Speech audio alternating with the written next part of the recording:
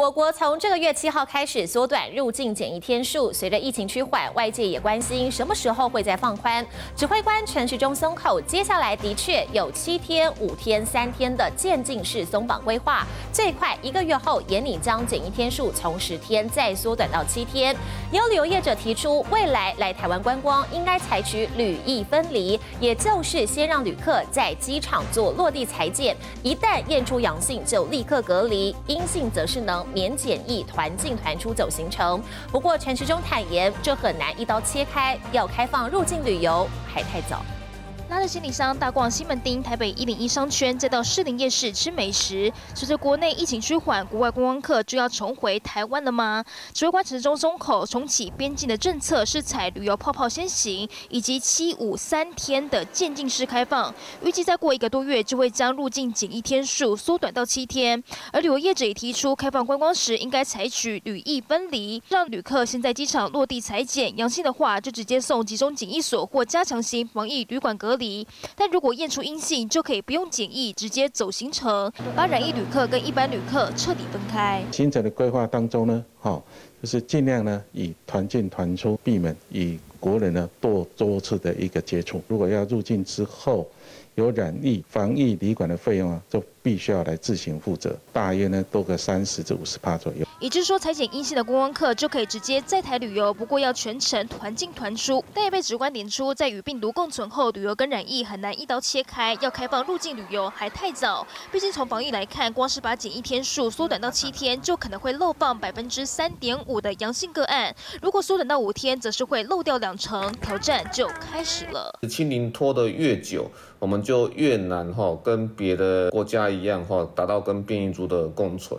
啊，这个其实都会有风险，所以我们要很小心的去解封了哈，免得说像香港栽了一个大跟斗。相信观光客就得要有一定程度的缩短检疫，甚至是免检疫诱因，但如何兼顾国内防疫，也得权衡利弊得失。郑建国听不懂。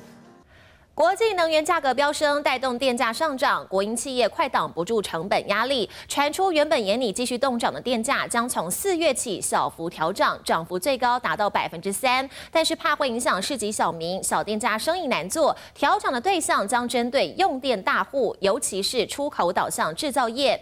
电价上涨也引发了工商界的反弹。另外，昨天宣布辞去工总理事长的台塑董座王文渊，虽然表示他是对工总发出三零三新闻。搞不满，但又有一说是因为经济不施压。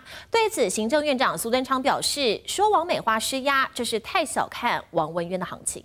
国际能源价格飙升，原油持续在每桶一百美元上下动荡，带动全球原物料涨，台湾也深受影响。台电中油不堪亏损，连七个月电价动涨，恐怕得中断。传出四月起将上涨百分之三。电价审议委员会也有讨论到国际的原料的这个上涨的情形，国内的这个物价的波动，照顾民生的这个原则呢，也会纳入考量，避免物价波动，国内通膨更严重。传出这波调涨，排除食品等民生工业小店家幸免，先涨用电大户。尤其是半导体、电子、钢铁、石化等出口导向制造业，消息一出，立刻引起工商界反弹。电费的降价，我想制造业是很难在台湾继续创造佳绩。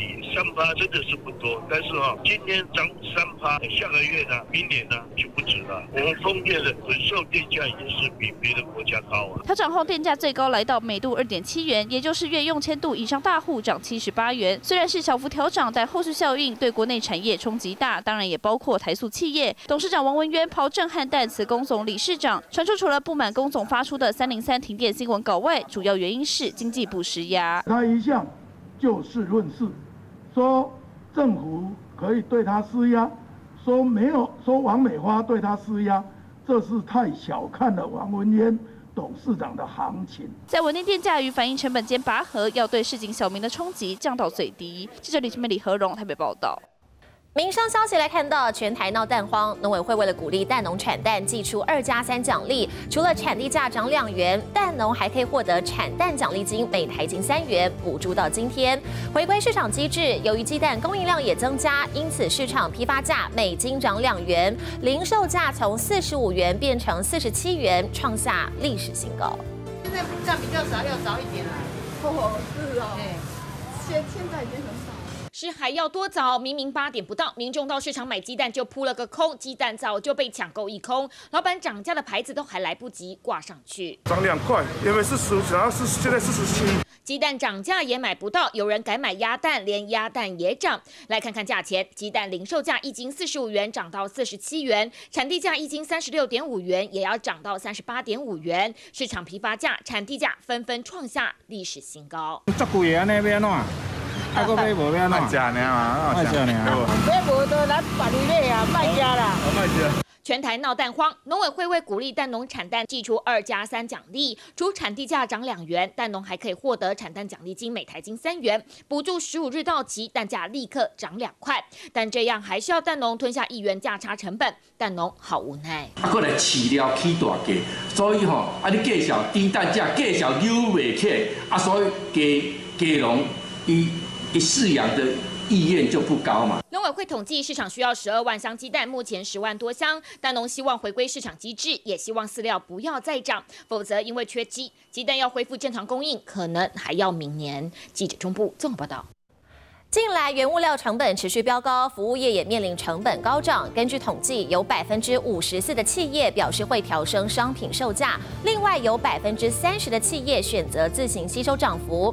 随着疫情逐渐解封，服务业不只有物价的问题要面对，还面临了人才荒。因为民众在疫情趋缓之后消费力大增，服务业人才需求量变大，现在有百分之九十四的服务业都有征才需求。穿着雨衣打扫，做起居家清洁，转行家事服务员的陈先生，终于在工作与生活之间取得平衡。因为在这之前的他，原本在餐饮业服务，受到疫情逐渐解封的影响，餐厅工作量大增，让他吃不消。因为能力不够嘛，然后现在公司说，哎，就要求你要加班，然后就说没有这个加班钱。工作量变多，就是因为疫情逐渐解封，也让服务业顾客量大回温。根据统计，已经有百分之五十二的服务业回到疫情前的荣景，也因为工作量增加，工作机会多了百分之二十二。超过九成五的业者需要找正职人员，六成五需要找工读生。总计有百分之九十四的服务业都有增才需求。不过当中又有超过五成八是为了填补疫情期间流失的人才。而现在服务业不止面临人才荒，还碰到原物料上涨的双面夹。我们的牛基本上都是美国牛居多。涨三十块，还是会想要转型，比方说转做这个，像是跟线上购物平台合作，又或者呢是做外送平台，用其他的方式来做个转型，而不是说在人力上面有做减少。产业复苏了，但原物料等成本上涨，有百分之五十四的企业表示会调升商品售价，另外有百分之三十的企业则选择自行吸收涨幅。疫情逐渐解封后，反而有不同课题需要面对。记者做报道。